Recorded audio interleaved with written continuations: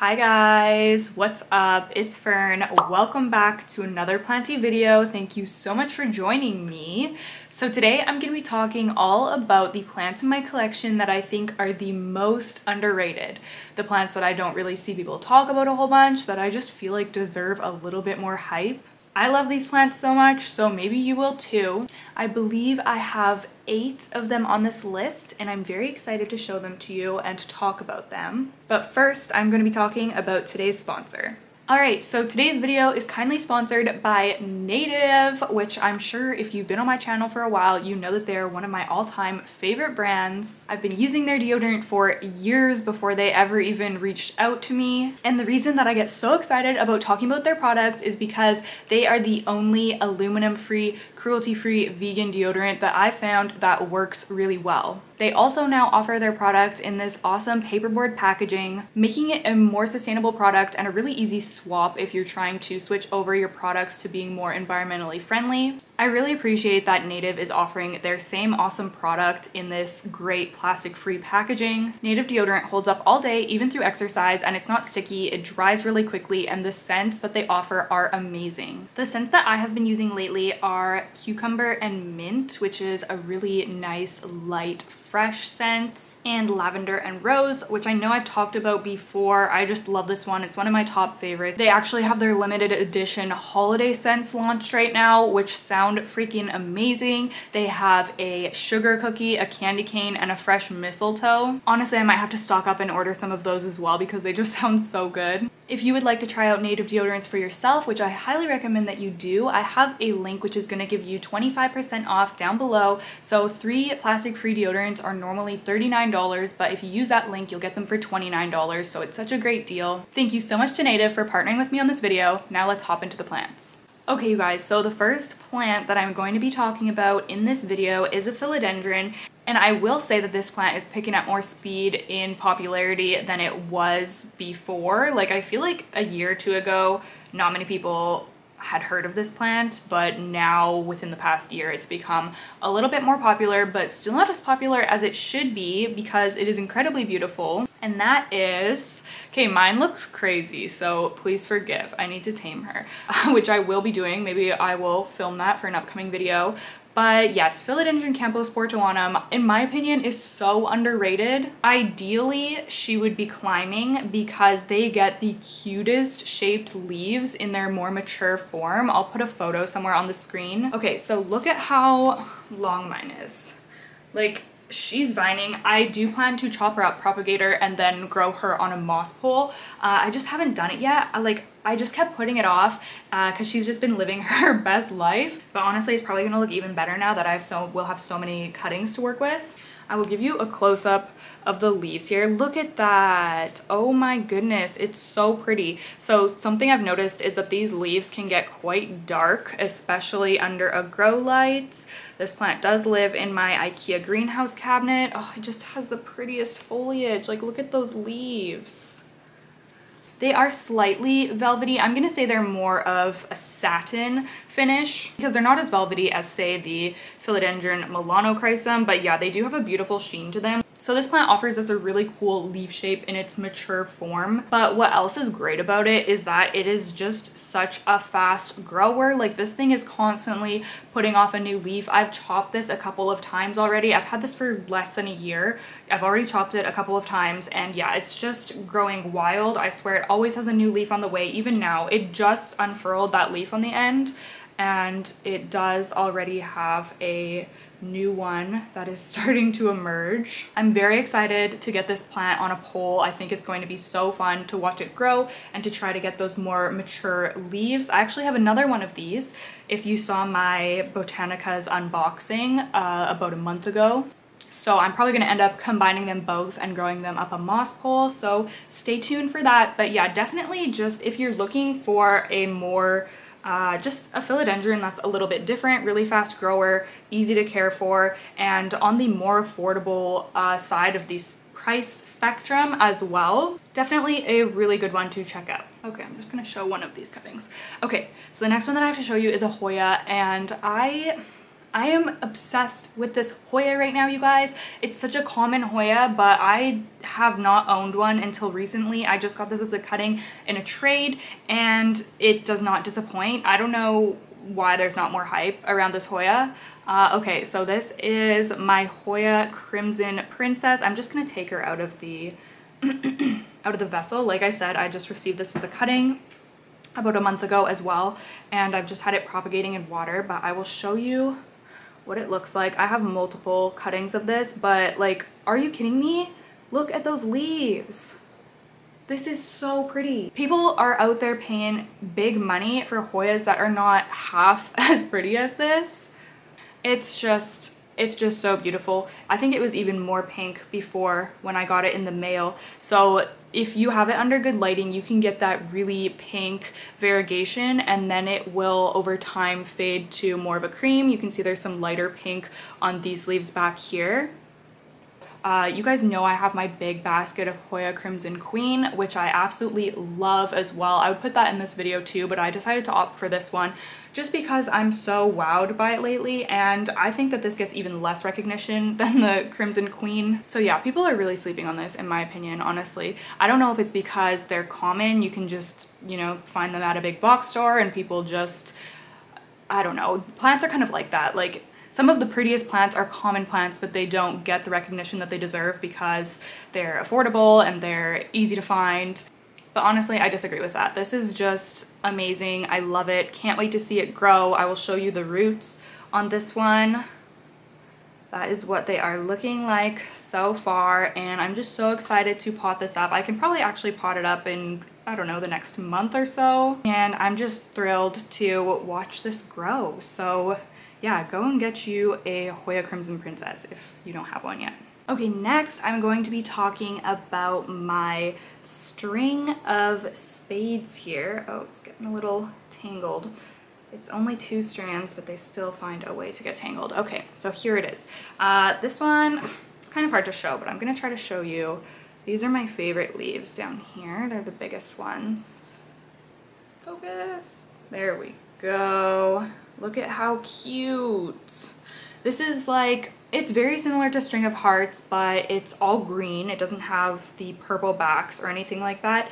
And it's not heart-shaped, it's just spade-shaped or like, I don't know, they kind of remind me of like shark teeth or something. They're kind of just like little triangles. And I just think that it's a fun twist on String of Hearts. And I like that I'm getting some of these bigger leaves um, down on the lower portion of the vine because that's something that I really struggle with. I know this one is so hard to show, I'm sorry.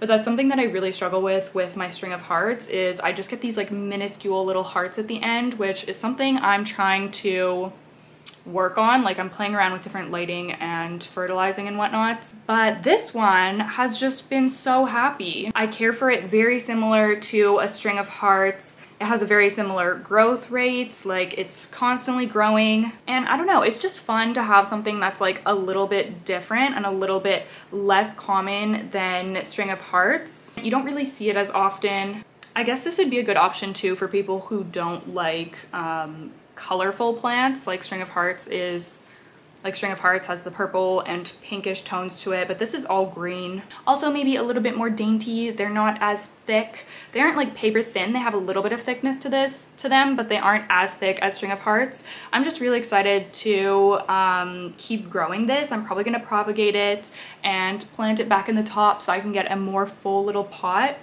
and just keep growing this out and seeing what I can end up with. Yeah, I just think it's really cool and I don't see a lot of people talk about it. Okay, next, you guys, I have a Ctenanthe to talk about. Look at her. She is so pretty. Oh my goodness, I love this. It's just so bright and vibrant and honestly so easygoing. So this is my Ctenanthe Lubbersiana. Now I received this as a cutting, you guys, um, in the summer, I'm gonna say mid-summer, so a few months ago now, and I rooted it in water uh, which went really well, rooted really quickly. It was, um, I don't know if you guys will remember, but it was doing a leaf curl thing when I was rooting it in water, but as soon as I potted it up, it totally stopped that and the leaves flattened out.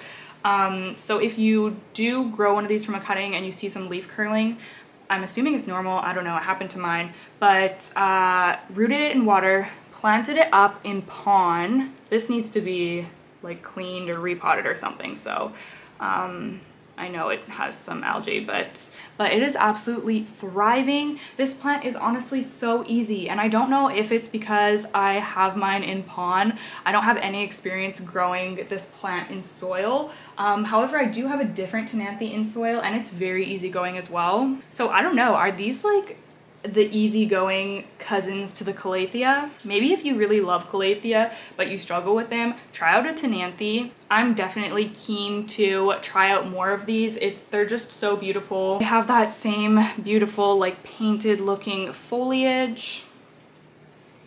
And yeah, love the yellow variegation. That's very on trend right now. Honestly, I think I'm gonna take a photo of this and post it to my Instagram for next week because um, yeah, this is just such a beautiful plant and I can't believe how much it's grown. It's grown so fast.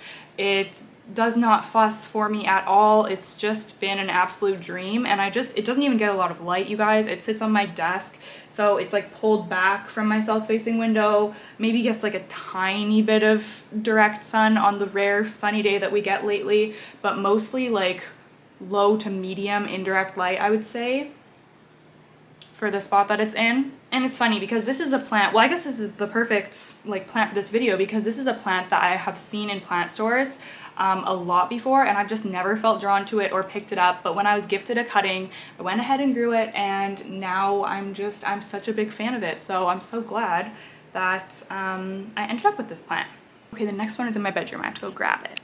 Oh my gosh. Okay, I think I have to stand to show this one, you guys. Oh my goodness, look at this plant.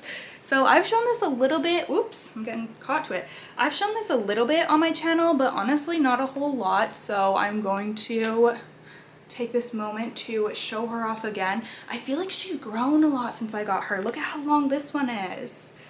Oh, she's really trailing now. Okay, so this is my trailing jade or, oh gosh, what is the, what is the newest name for her? Okay, I will put the most recent name that she's been classified into on the screen, but before this plant was reclassified, this was a Senecio jacobsii? Jacobinsi? One of those. But it's most commonly known as a trailing jade and yeah, this is honestly one of my latest obsessions. I bought this because I wanted more trailing plants for my bed frame. I have a canopy bed frame now. Um, and I had seen this one posted on TikTok. I've talked about this whole story again, so I won't go too much into it. But I saw this plant on TikTok, and ever since I saw it on TikTok, I decided that I really wanted it. I love trailing plants, but I had just never got it for like a year and a half. It would kind of be in the back of my mind, but I had just never picked one up. So when I saw this big, beautiful, lush basket at one of my favorite plant stores, I of course had to grab it. This was only $14.99 as well. So although it looks like a jade plant and it has the common name trailing jade, it's actually not a jade. Um, and it does trail like this. But yeah, it has those big succulent paddle type leaves and obviously it trails. So these can trail up to around four feet long. So I'm so excited to watch it grow even more it's been doing not bad um, where I have it growing in my bedroom. It sits a few feet away from a south-facing window that is kind of covered, so it doesn't really get any direct sunlight. It gets, I would say, medium indirect light, and it's doing okay. I haven't noticed it really suffering or anything, so I'm just going to keep growing it in that spot for now.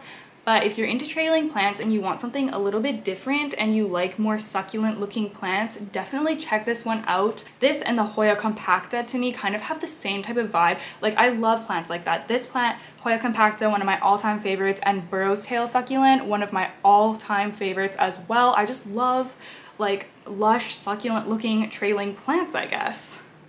So yeah, I'm really into this. Um, don't see anybody really post about it except for that person that I saw it on, on TikTok. So yeah, I just have to spread the love because more people should have this plant. Okay, next I have a philodendron. I feel like this is a little bit similar to the philodendron camposportoanum because I think that this is gaining a little bit more popularity. The popularity it deserves, in my opinion. Um, yes, this is just, it's one of my favorites and it is my Philodendron subhastatum. honestly, I could put the Philodendron hastatum on this list as well. The Philodendron silver sword, I feel like that plant deserves way more hype. But it does get some hype, so I'm not gonna put it on this list. but that's one of my all-time favorites as well. Okay, so this is my philodendron subhastatum. So when you see it from the front, it's like, okay, she's a cute little green philodendron, you know, pretty shiny leaves, okay. But then when you see her from the back, my friends, bam. Oh my goodness. Okay, just ignore. Mine is a little bit damaged because the leaf was having some trouble unfurling, but look at that red back. Oh my goodness, it's so pretty. Look at this one too. this one's so dark, look at that. Oh my goodness, she is so pretty. And the way that the, okay, so when you're looking at it here on my camera in this lighting, the from the front it looks just like a pretty solid dark green, but when um, you have this plant in the sun in the summertime, you can see when it shines through the leaf, you can see the red back and it's just, oh, it's so pretty. I honestly love this plant so stinking much. It's been a super easy grower for me. Honestly, I haven't really done anything special. I would like to get it on a better support situation here. This is a little bit flimsy. I would like to actually repot this and yeah, get it set up with a different a different type of um, stake or pole situation. But yeah, in my experience so far, it's been very easy to grow. I can see that it is just about ready to start pushing out a new leaf there so I'm very excited to see that. Yeah, I don't know, I just feel like it's so pretty. I feel like the backs just make it so special, but even the fronts are beautiful as well. I don't see people post this plant a lot. I don't see people talk about this plant a lot. Um, like I said, a little bit more than, um, than in the past. It's kind of picking up in popularity. But yeah, I just love it so much. Uh, very easy plant and I definitely recommend it if you're looking for something a little bit different. Okay, we're almost done. I'm going to talk about a Hoya now, and then I'm going to talk about a philodendron as the last one, which is probably my top underrated houseplant. Um, okay, so let's start with this Hoya.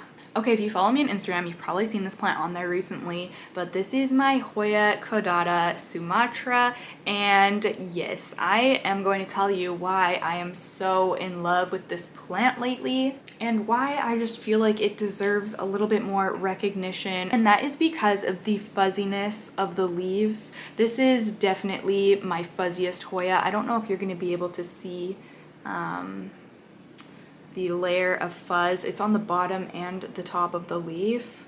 It's honestly so soft and fuzzy, you guys. And watching this new leaf here come in as a baby was probably, it was probably the cutest leaf I've ever seen come in. I mean, the leaves on my Hoya serpens are very cute as well. But yeah, I just couldn't believe how hairy it was. And the way that Hoya leaves come in, they start off really tiny and then they expand. So I'm pretty sure that this is fully expanded now for this new one. Um, however, it's not completely hardened off. You can see it's a lot softer and just different in texture and look, honestly than the more mature ones. So when they're more mature, they get this really thick, hard, like this is a sturdy feeling leaf and they have these kind of like rippled edges. It's just such a cool plant in both the like mature hardened leaves and watching the baby leaves come in. It was truly such a joy watching this leaf come in. I'm pretty sure that this also gets like fluffy fuzzy looking blooms. I have not yet had this bloom for me but I will definitely be keeping you posted if it ever does. It has a new vine coming in here, which even has like, you're probably not gonna be able to see on the camera, but even the vine has little fine hairs on it. I just think it's so sweet. I love hairy plants. There's probably Hoyas out there that are more hairy than this one. I'm not really sure. I don't know a lot about like the more obscure types of Hoya definitely check this Hoya out. I do see them around, like it's not super uncommon or anything. I was just so taken aback with um, the whole experience of that new leaf coming in. So yeah, definitely a Hoya that I will recommend and definitely one of my favorite Hoyas now. Okay, so the last plant I feel like I've shown a lot lately. I guess this can serve as a little bit of an update on it as well, but this is by far one of the most underrated plants in my opinion in my collection and that is my philodendron painted lady. Here she is. So I think she's actually been featured in a couple a couple of my most recent videos. I put her on this moss pole in one and then I watered her in my last water with me video. And I've talked about her before so I'm gonna keep it as brief as possible. But this plant it just I think that it deserves way more hype It is so pretty and it is variegated. It's not the traditional like white or yellow um, like splashy or sectoral variegation that you would see, but it's this very like, I don't even know how to describe it. It almost looks like a painting or I don't know, like Okay, I'm editing and I just made this connection right now that that's why it's called Painted Lady. It looks like it's painted on. I was filming and I said that and it didn't even connect in my brain. But now I'm watching that back and I'm like, oh my gosh. Yeah, it looks painted. It looks painted. Or I don't know, like a more marbled variegation, I suppose. But it's very different than any variegation that I've seen before on any of my other plants. And and not only does it get that beautiful variegation, but the new leaves can come out this really pretty like orangey yellow color as well. And this plant really, you can get a lot of different shades um, and tones in this plant depending on what lighting you have it under. So yeah, it's very easygoing, a very fast grower, um, definitely a really resilient plant. It has these beautiful pink petioles. Like look at those petioles it's so pretty. She's just so pretty. And I feel like I'm always saying that she's so underrated and I love Philodendron Painted Lady, but it's for good reason, honestly. She's such a great plant. I highly recommend if you are interested at all to pick one up if you come across them. They're usually not outrageously priced either. And I'm sure it's something that you could probably find in a trade or something like that. Like I said, they're very vigorous growers. I'm so excited to see how she grows now that I have her on this moss pole and she's also living in a cabinet. So she's really getting, you know, the life that she deserves. Now the mini update that I wanted to give was on this broken leaf. So she had a leaf snap off and I was showing it in the video where I repotted her and put her on this moss pole and it wasn't like completely snapped off and it was still green. So I had a couple of people comment that, you know, if you just make a what's it called, like a brace support thingy with like tape or something that you have around, then in some cases the plant can actually like repair itself and the leaf will survive. So I did just that. Uh, if you can see, I have the leaf taped on right here. This is the petiole that was snapped. It was snapped like right, right there where it connects. Uh, so I've taped it up and honestly, you guys, I think it's working. It looks so good. It's been like probably 10 days and the leaf is still completely green and I feel like it's standing up a little bit taller than it was before so I think it might be repairing itself. How freaking cool would that be? I can't wait to see what happens with that. I don't know how long I should wait before I take off the tape, but I'm going to be waiting a long time, I think, because I don't want to take it off too early. Yeah, just thought I would update you guys. I just thought that that was amazing. I feel like it did slow down the growth on this new leaf a little bit. You can see it's not as tall as the older leaf, um, but that's okay, that's fine. And she already has another one on the way. Like she just grows so fast. She's always doing the most. I love her so much. Alright you guys, that is it. Yes, I think I talked about all eight of them. I hope that you enjoyed seeing those plants and hearing a little bit about them. Let me know what your thoughts are down below. I would love to chat with you. Do you agree with me? Do you own any of these plants? What plants do you think are underrated? I would especially love to hear your opinions on that. Give this video a thumbs up if you liked it. Make sure you subscribe to my channel for more planty content. And once again, thank you so much to Native for sponsoring this video. If you are interested in trying out Native deodorant, you can click the link down below in the description box for 25% off. Okay, thank you guys so much. I will see you in the next one. Bye!